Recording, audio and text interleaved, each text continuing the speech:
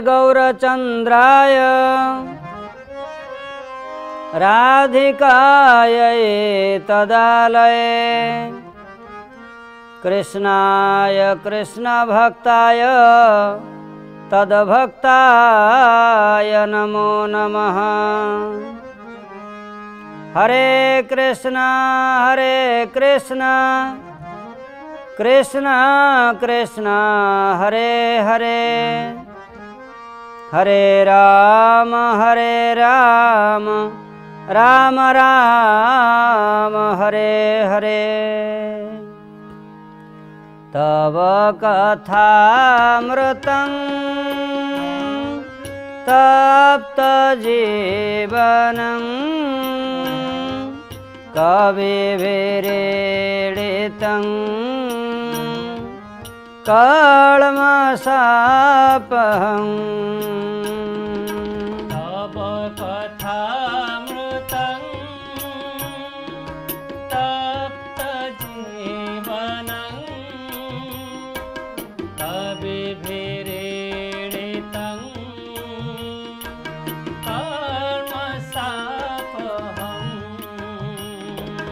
श्रवणमङ्गलं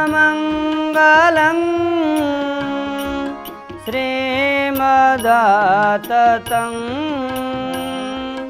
भुवि गृह्णन्ति ते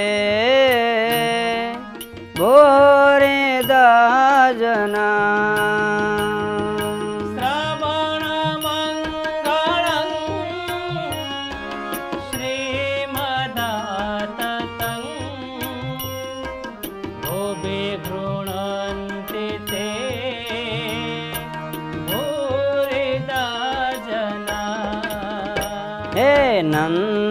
नन्दनन्दन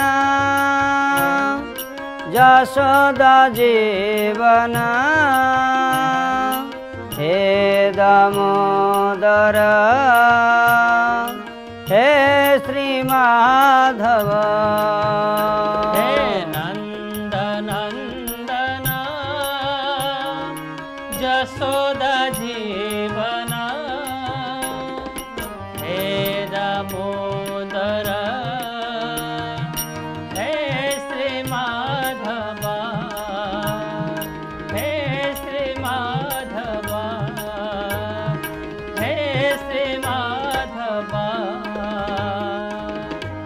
अस्मदीय गुरुपाद पद्म श्री श्रीमद् भक्ति वेदांत नारायण गोस्वामी महाराज अनंत कोटि वैष्णव वृंद शुद्धि भक्त वृंद समस्त चरण रे ए अधमर ଯଥାଯଥ ପ୍ରଣାମ ଆମେମାନେ ଆଲୋଚନା କରୁଥିଲେ ଯେ ବସ୍ତୁତଃ ମଣିଷର କ'ଣ ଭୋଜନୀୟ ବସ୍ତୁ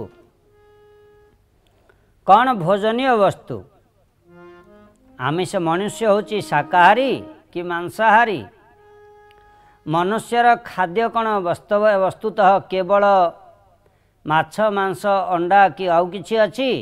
ନା ଅନ୍ନ ବ୍ୟଞ୍ଜନ ଆଦି ଶାକାହାରୀ ଦ୍ରବ୍ୟ? କ'ଣ ବାସ୍ତବରେ ମନୁଷ୍ୟର ଭୋଜନୀୟ ବସ୍ତୁ? ବିଚାର କରିବାର କଥା। ଯଦି ପ୍ରଶ୍ନ ପଚରାଯାଏ ବାଘ କେମିତି ପାଣି ପିଉଛି? ଚାଟି ଚାଟି ପିଉଛି କି ଚାପି ଚାପି ପିଉଛି? ସମସ୍ତେ କହିବେ ବାଘ ଚାଟି ଚାଟି ପାଣି ପିଉଛି। ଏବଂ କୁକୁର କେମିତି ପାଣି ପିଉଛି ପଚାରିଲେ ସମସ୍ତେ ସେଇ କଥା କହିବେ ଯେ କୁକୁର ମଧ୍ୟ ଜିଭରେ ଚାଟି ଚାଟି ପାଣି ପିଉଛି। ଏବଂ ସିଂହ କେମିତି ପାଣି ପିଉଛି ପଚାରିଲେ ସମସ୍ତେ ସେଇ କଥା କହିବେ ସିଂହ ମଧ୍ୟ ଜିଭରେ ଚାଟି ଚାଟି ପାଣି ପିଉଛି। ଏବଂ ଗାଈ କେମିତି ପାଣି ପିଉଛି?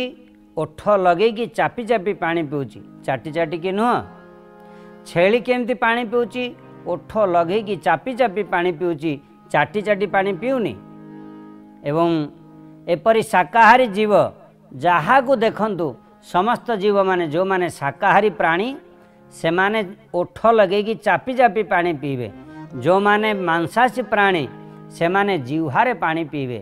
ଯଦି ପ୍ରଶ୍ନ ପଚାରାଯାଏ ମଣିଷ କିପରି ପାଣି ପିଉଛି? ତାହେଲେ ନିଶ୍ଚିତ ଉତ୍ତର ଆସିବ ଓଠ ଲଗେଇକି ଚାପି ଚାପି ପାଣି ପିଉଛି। ଅତଏବ ଏଥିରୁ ଜଣାଯାଏ ମଣିଷ ହେଉଛି ଶାକାହାରୀ ପ୍ରାଣୀ। ମାଂସାଶୀ ନୁହଁ ମାଂସ ଖାଇବା ତା'ର ସ୍ୱଭାବ ନୁହଁ ପ୍ରବୃତ୍ତି ନୁହଁ। ଏବଂ ଆଉ ଗୋଟିଏ କଥା ଯଦି କେହି କେହି କହନ୍ତି ଡାକ୍ତର କହିଛନ୍ତି ମାଂସ ଖାଇସାରିଲା ପରେ ବହୁତ ବଳ ପ୍ରଦାନ ମିଳେ କିନ୍ତୁ ଗୋଟେ ପରୀକ୍ଷା କରନ୍ତୁ। ଜଣେ ଗୋଟେ ଦେଖିବେ ଗୋଟେ ଗାଈ ବଳଦ ଘୋଡ଼ା ବିଶେଷ ଭାବରେ ଏକାଧିକ୍ରମେ ଶାକାହାରୀ ହେଇଥିବା ଯୋଗୁଁ ବହୁତ ସମୟ କାମ କରିପାରନ୍ତି ଖରାରେ ବେଶୀ ସମୟ ରହିପାରନ୍ତି। ଧୈର୍ଯ୍ୟ ଶକ୍ତି ବହୁତ ଥାଏ ବହୁତ ସମୟ ପର୍ଯ୍ୟନ୍ତ ପରିଶ୍ରମ କରିପାରନ୍ତି। କିନ୍ତୁ ଆପଣ ନନ୍ଦନକାନନ ଯାଆନ୍ତୁ ଗୋଟେ ବାଘକୁ ଦେଖନ୍ତୁ କିମ୍ବା ଗାଁରେ ଗୋଟେ କୁକୁରକୁ ଦେଖନ୍ତୁ କିମ୍ବା ଗୋଟେ ସିଂହକୁ ଦେଖନ୍ତୁ ଯେତେବେଳେ ଦେଖିବେ ଅଳ୍ପ ଖରା ହେଲା ଝଟପରା ପଡ଼ିକି ଖାଲି ଧକଉଥିବେ ସେଠି। କାରଣ ସେଠି ବଳ ନାହିଁ ସେମାନଙ୍କର। ସାମର୍ଥ୍ୟ ବେଶୀ ନାହିଁ। ହଠାତ୍ କିଛି ଗୋଟେ ଜମ୍ପ ମାରି କିଛି କରିଦେବେ ତା ପରବର୍ତ୍ତୀ ପର୍ଯ୍ୟାୟରେ କରିପାରିବେନି। ସେତିକିରେ ସେମାନେ ବନ୍ଦ ରହିବେ। ଗୋଟିଏ ସାଧାରଣ ପରୀକ୍ଷା ଗୋଟିଏ ମାଂସାଶୀ ଲୋକକୁ କହିବେ ଯେଉଁମାନେ ମାଂସ ଖାଉଛନ୍ତି ସିଏ ହାତକୁ ଏମିତି ଉପରକୁ କରିକି ରଖନ୍ତୁ। ଆଉ ଯିଏ ଶାକାହାରୀ ଲୋକ ତାଙ୍କୁ କହିବେ ହାତ ଏମିତି କରିକି ରଖନ୍ତୁ। ମାଂସାଶୀ ଲୋକ ଜଲ୍ଦି ହାତ ପକାଇଦେବ କାରଣ ସାମର୍ଥ୍ୟ କମ୍। ହାତୀ ଦେଖନ୍ତୁ ବିରାଟ ବଡ଼ ଜନ୍ତୁ। କେବଳ ସରପାହା ପିବନ୍ତି ପବନା ନଚ ଦୁର୍ବଳାସ୍ତେ ସ୍କନ୍ଦେରେ ଫଲେ ମତ ଗଜା ବଲିନୋ ଭବନ୍ତି। ତୃଣ ଘାସ ଡାଳ ପତ୍ର ହାତୀ ଖାଉଛି କିନ୍ତୁ କେତେ ବିରାଟ ବଡ଼ ଶରୀର କେତେ ବଳବାନ ହେଇଛି। ଅତଏବ ମାଂସ ଖାଇଲେ ବଳ ମିଳିବ ସେ କଥା ନୁହଁ। ଶାକାହାରୀ ହେଲେ ବଳ କମ୍ ହେଇଯିବ ସେ କଥା ମଧ୍ୟ ନୁହଁ। କିନ୍ତୁ ଆଉ କେହି କେହି କହନ୍ତି आमे विचार करवा दरकार, आमे कहीं खाऊे कौन पे खाऊचे? शरीर में पुष्टि साधन करने रक्त मांस वर्धन करने कि जदि विचार करा जाए, गोटे छेली सी रक्त मांस खाई सीए घास फल जहाँ सब घास खाई तार शरीर में रक्त मांस जमेजी किंतु आमे एत मूर्ख जे, से रक्त मंस को काटिकी खाई पुणी आम रक्त मांस बढ़ेवा? ବଢ଼େଇବା ଇଏ କି ପ୍ରକାର ମାନବିକତାର ବିଚାର ଅତଏବ ତେଣୁ କୁହାଯାଏ ଇଏ ମଛ- ମାଛ ମାଂସ ଇଏ ବସ୍ତୁତଃ ଆମମାନଙ୍କର ଭୋଜନୀୟ ନୁହଁ ଥରେ ଗୋଟେ କଥା ଆସେ ଗୋଟେ ଲୋକ ଗୋଟେ ଛେଳିକି କାଟିବାକୁ ଯାଉଛି ସେଠି ଛେଳି ହସିବାକୁ ଯାଉଛି ଛେଳି ହସୁଛି ସେ ଲୋକ ପଚାରିଲା ଛେଳି ତତେ ତ ମୁଁ ବର୍ତ୍ତମାନ କାଟିବାକୁ ଯାଉଛି ତୁ ହସୁଛୁ କାହିଁକି ତୋର ମୃତ୍ୟୁ ସମୟ। ଛେଳି କହିଲା ମୁଁ ଏଇଥିପାଇଁ ହସୁଛି ଯେ ମୁଁ କେବଳ ଘାସ ଖାଇ ଖାଇ ନିରଡ଼ମ୍ବର ଭାବରେ ଘାସ ଖାଇକି ହିଂସା ନ କରିକି ବଞ୍ଚିଲି ବୋଲି ଯଦି ମୁଁ ହଣା ଖାଉଛି ମୋର ମୃତ୍ୟୁ ଏତେ ଭୟଙ୍କର ହେଉଛି ତେବେ ମୁଁ ଏଇଥିପାଇଁ ହସୁଛି ତମେମାନେ ଯେଉଁ ରକ୍ତ ମାଂସ ଖାଇ ଖାଇ ତମମାନଙ୍କ ଶରୀରକୁ ବଢ଼ଉଛ ତମମାନଙ୍କ ମୃତ୍ୟୁ କେଡ଼େ ଭୟାନକ ନ ହେବ ମୁଁ ସେଇ କଥାଟା ଚିନ୍ତା କରୁଛି ସେଥିପାଇଁ ହସୁଛି ଅତଏବ ବିଚାର କରିବାର କଥା ଆଉ ଗୋଟିଏ କଥା ଭଗବାନ ଆମର ସୁନ୍ଦର ମଣିଷ ଶରୀରଟିଏ ଦେଇଛନ୍ତି। କିନ୍ତୁ ଏ ଶରୀରକୁ ଭରିବା ପାଇଁ ଯେଉଁ ଜାଗାରେ ଶବ ରୋଷେଇ ହୁଏ ଶବକୁ ପୋଡ଼ାଯାଏ ତାକୁ କୁହାଯାଏ ଶ୍ମଶାନ। ଯଦି ମାଂସ ମାଛ ସିଏ ଶବ ହେଇଗଲା କାରଣ ସେଟା ଡେଡ଼୍ ବଡି ସେଥିରେ ଜୀବନ ହିଁ ନାହିଁ। ଆମେ ଯଦି ତାକୁ ରୋଷେଇ କରିବା ଆମ ଘର ମଧ୍ୟ ଶ୍ମଶାନ ସଦୃଶ ହେଇଯିବ। ଏବଂ ଆଉ ଗୋଟେ କଥା ଯେଉଁଠିକି ଶ୍ମଶାନ ଶବ କେଉଁ ଜାଗାକୁ ଯାଏ? ଶ୍ମଶାନକୁ। ତେବେ ଆମେ ଗୀତ ବୋଲୁଛେ କଥା କଥାରେ କହୁଛେ ହୃଦୟ ବନାଲୋ ଭକ୍ତ ଗୋକୁଲ ଧାମରେ। ହେ ଭକ୍ତ ଏ ହୃଦୟକୁ ଗୋକୁଲ ବନାଅ। କିନ୍ତୁ ଆମେ ସେଇ ହୃଦୟରେ ଯଦି ଆମେମାନେ ମାଂସ ଢାଳିବା ଶବ ଢାଳିବା ତାହେଲେ ଆମ ଶରୀରକୁ ମଧ୍ୟ ଆମେ ଶ୍ମଶାନ କରିବା ପରିଣତ କରୁଛେ। ତେଣୁ ଯେଉଁମାନେ ହରିଭଜନ କରିବାକୁ ହେଲେ ପ୍ରଥମେ ମାଛ ମାଂସ ଛାଡ଼ିବାକୁ ହେବ। ଆହାରେ ଭଲ ମନ୍ଦ ନାହିଁ ଯେ ସ୍ଥାନେ ଯେମନ୍ତ ମିଳେ କହିଲେ ହେବନି। ଏବଂ ଆଉ ଗୋଟେ କଥା ବିଚାର କରିବାର ବିଧେୟ। ଇଏ ଜୀବ ଜଗତରେ ମଣିଷ ହେଉଛି ସର୍ବଶ୍ରେଷ୍ଠ ପ୍ରାଣୀ। ବିଶେଷ ବୁଦ୍ଧି ସମ୍ପନ୍ନ। ତାର ବିଶେଷ କାର୍ଯ୍ୟ ହେଉଛି ଜଗତରେ ସମସ୍ତଙ୍କୁ ସମସ୍ତଙ୍କର ପାଳନ ପୋଷଣ କରିବା। ଭଗବାନ ତାକୁ ଦାୟିତ୍ୱ ଦେଇଛନ୍ତି ସୁରକ୍ଷା ଦେଇଛନ୍ତି। କିନ୍ତୁ ନିଜେ ରକ୍ଷକ ହେଲା ପରେ ଭକ୍ଷକ ସାଜିବା ଉଚିତ ନୁହଁ। ଆଉ ଗୋଟିଏ କଥା କୁହାଯାଏ ଯେ ତିନିଟା ଯେଉଁ ଜାଗାରେ ମାଂସ ଦୋକାନରେ ତିନି ଜଣ ଲୋକ ଥାଆନ୍ତି ତିନି ଜଣ ତିନି ଜଣ ଥାଆନ୍ତି ସେଠି ମାଂସ ଖାଇବା ଆଶାରେ। ଗୋଟିଏ କାଉ ଥାଏ ଆଉ ଗୋଟେ କୁକୁର ଥାଏ ଏବଂ ଆଉ ଗୋଟେ ମଣିଷ ଥାଏ। କିନ୍ତୁ ଏ କାଉ ଏବଂ କୁକୁରକୁ ମିଳିପାରେନି କାରଣ ସେମାନଙ୍କ ପାଖରେ ପଇସା ନାହିଁ ବୋଲି। କିନ୍ତୁ ସେମାନେ ସେଇ ଲାଇନରେ ୱେଟିଂ ଲିଷ୍ଟରେ ଅଛନ୍ତି। ଯଦି କେବେ କିଛି ଆସେ ଆମ ପାଳି ପଡ଼ିବ। କିନ୍ତୁ ମଣିଷ ପାଖରେ ପଇସା ଅଛି ବୋଲି ସିଏ ନେଇକି ପଳେଇ ଆସେ। ତେଣୁ ଅତଏବ ବିଚାର କଲେ ଜଣାଯାଏ ଇଏ ଆମମାନଙ୍କର ଖାଦ୍ୟ ନୁହଁ। ଆମମାନଙ୍କୁ ଖାଇବା ପାଇଁ ଏ ବସ୍ତୁ ଭଗବାନ ସଠିକ୍ ନିର୍ଦ୍ଧାରଣ କରିନାହାନ୍ତି। ଏବଂ ଆଉ ଗୋଟେ ବେଦରେ ମନ୍ତ୍ର ଅଛି ଯେ ଯେଉଁ ସ୍ଥାନରେ ମାଂସ ମାଛ ଛେଳି କାଟିବା ସମୟରେ ଗୋଟେ ମନ୍ତ୍ର ବୋଲାଯାଏ। ତା'ର ଅର୍ଥ ହେଉଛି जे oh my god i am going to cutting your throat but you should prefer to cut my throat in next life. ଛେଳିକି ସେଠି ଇନଭାଇଟ୍ କରାହେଉଛି ଯେ ମୁଁ ବର୍ତ୍ତମାନ ତୋର ବେକକୁ କାଟୁଛି କିନ୍ତୁ ନେକ୍ସଟ ଲାଇଫରେ ପର ଜନ୍ମରେ ତୁ ମଧ୍ୟ ମୋ ବେକ କାଟିବା ପାଇଁ ପ୍ରସ୍ତୁତ ହେଇକି ରହ। ଅତଏବ ଏଠି ବିଶେଷ ବିଚାର କରିବାର କଥା ଆମମାନଙ୍କର ପେଟ ଭରିବା ପାଇଁ ଜିହ୍ୱା ଲାଳସାକୁ ପରିତୃପ୍ତ କରିବା ପାଇଁ ନିରୀହ ପ୍ରାଣୀମାନଙ୍କୁ ବଦ୍ଧ କରିବା କ'ଣ ବିଶେଷ ପ୍ରୟୋଜନୀୟ? ଆଚ୍ଛା ଯେଉଁମାନେ ଭକ୍ଷଣ କରିଛନ୍ତି ବର୍ତ୍ତମାନ ମଧ୍ୟ ସମୟ ଅଛି। ଆମିଷ କେମିତି ଲାଗେ ମାଛ କେମିତି ଲାଗେ ଆମେ ଜାଣିଗଲୁ ଟେଷ୍ଟ ହେଇଗଲାଣି। ମାଂସ କେମିତି ଲାଗେ ଆମେ ଜାଣିଗଲୁ ସ୍ୱାଦ ପାଇଗଲେଣି କିନ୍ତୁ ବର୍ତ୍ତମାନଠୁ ତ ନିଜ ଜୀବନ ବଦଳାନ୍ତୁ। ଆମ ସନାତନ ହିନ୍ଦୁ ଧର୍ମର ଇଏ ହେଉଛି ଉଦ୍ଘୋଷ। ଯେ ସକାଳୁ ଭଗବାନଙ୍କୁ ପ୍ରଣାମ କରିବ। କେହି କହନ୍ତି ଆଜ୍ଞା ନାଇଁ ପ୍ରଭୁଜୀ ଆମେମାନେ ସପ୍ତାହରେ ତିନି ଦିନ ଛାଡ଼ିଛୁ। ଆଉ କିନ୍ତୁ ଚାରି ଦିନ ଆମେ ଆଉ ଖାଉଛୁ।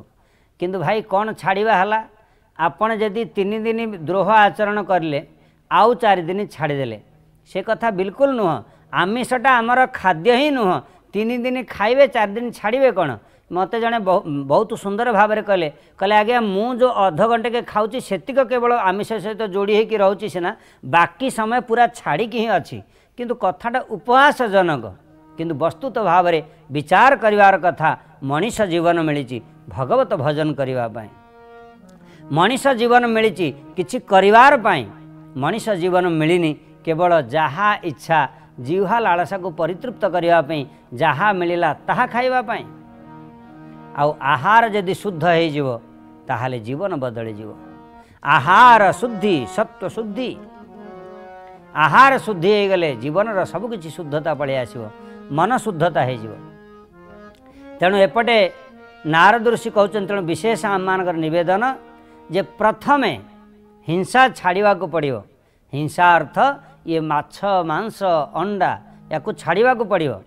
କୁହାଯାଏ ଧୃତରାଷ୍ଟ୍ର ରାଜା ଆମିଷ ଭକ୍ଷଣ କରିଥିଲେ ବୋଲି ଅଣ୍ଡା ଭକ୍ଷଣ କରିଥିଲେ ବୋଲି ପକ୍ଷୀର ତେଣୁ ତାଙ୍କ ଜୀବନ କାଳ ଭିତରେ ତାଙ୍କ ଚକ୍ଷୁ ସାମ୍ନାରେ ତାଙ୍କର ଶହେ ଶହେ ପୁତ୍ର ବିନାଶ ପ୍ରାପ୍ତ ହୋଇଗଲେ। ତେଣୁ ପୁରାଣରେ ମଧ୍ୟ କଥା ଅଛି ହିଂସା ଆଚରଣ କରିବା ବିଶେଷ ଭାବରେ ପ୍ରୟୋଜନ ନୁହଁ। ମନୁଷ୍ୟ ପାଇଁ ବିଶେଷ କର୍ତ୍ତବ୍ୟ ନୁହଁ। ତେଣୁ ଆମିଷ ଭକ୍ଷଣ ଗୋଟିଏ ମନୁଷ୍ୟ ପକ୍ଷେ କ୍ଷତିକାରକ ସିନା ଲାଭଦାୟକ ନୁହଁ। ଏବଂ ଆଉ ଗୋଟିଏ କଥା ଆପଣ ଆଜି ଆମିଷ ଖାଆନ୍ତୁ ସକାଳୁ ଖାଇଛନ୍ତି ଦିନ ତମାମ ଆପଣଙ୍କର କେମିତି କଟୁଛି ଆପଣ ଦେଖନ୍ତୁ ଆପଣଙ୍କ ଜୀବନରେ କେତିକି ସନ୍ତୋଷତା ଆସୁଛି କିନ୍ତୁ ଆପଣ ସକାଳୁ ଉଠିଲେ ଠାକୁରଙ୍କୁ ପ୍ରଣାମ କଲେ ଗୋଟେ ଦିବ୍ୟ ଜୀବନ ପରମାର୍ଥ ଜୀବନ ଆରମ୍ଭ କରନ୍ତୁ ଯାହା ରୋଷେଇ କଲେ। ରୋଷେଇ କରିବା ସମୟରେ ଭଗବାନଙ୍କର କୀର୍ତ୍ତନ ଭଜନ ଟେପ୍ ରେଡ଼ିଓରେ ବଜେଇକିରି ଆପଣ ଶୁଣନ୍ତୁ ଶୁଣି ଶୁଣିକି ଆପଣ ରୋଷେଇ କରନ୍ତୁ। ଏବଂ ରୋଷେଇ ହୋଇସାରିଲା ପରେ ଭଗବାନଙ୍କୁ ତାହା ତୁଳସୀ ପକାଇକି ଅର୍ପଣ କରନ୍ତୁ ଏବଂ ଅର୍ପଣ କରିସାରିଲା ପରେ ପ୍ରସାଦ ପାଆନ୍ତୁ। ଆଉ ପ୍ରସାଦ ପାଇସାରି ଆପଣ ତାପରେ ନିଜ କର୍ମ ଜୀବିକା ଜଞ୍ଜାଳକୁ ଯାଆନ୍ତୁ। ଆଉ ଦେଖନ୍ତୁ ସନ୍ଧ୍ୟା ପର୍ଯ୍ୟନ୍ତ ଆପଣଙ୍କ ଜୀବନ କୁସୁମିତ ହେବ।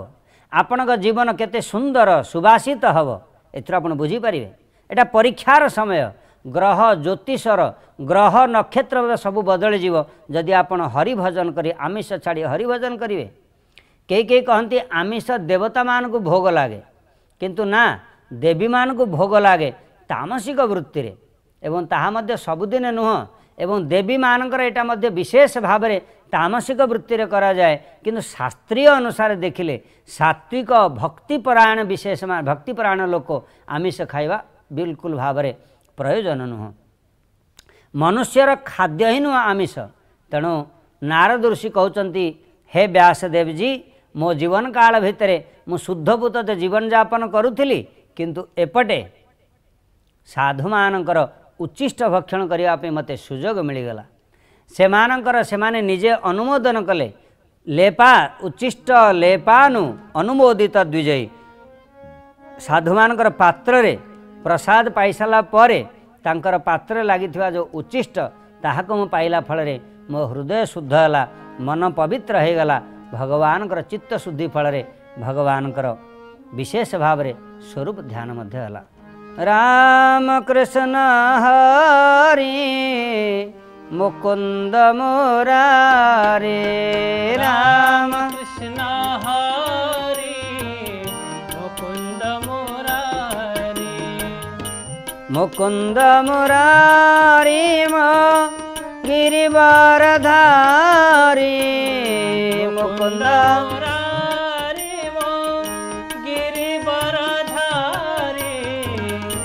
मुकुन्द मुरारिम गिरिवरधारी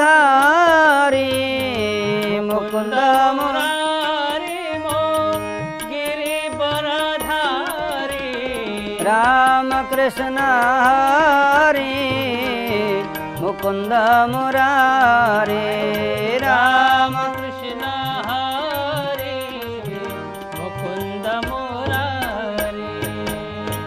मुकुन्द मरारी मो गिरि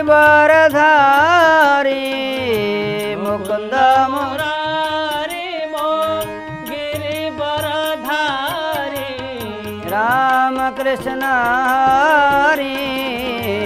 मुकुन्द मरारी राम